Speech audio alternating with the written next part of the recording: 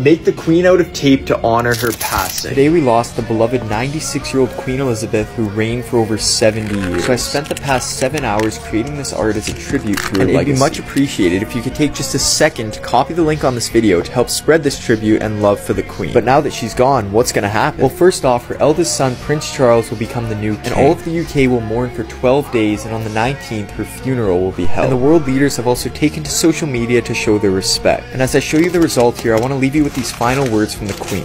We should take comfort that while we may have more still to endure, better days will return. And may Queen Elizabeth rest in peace.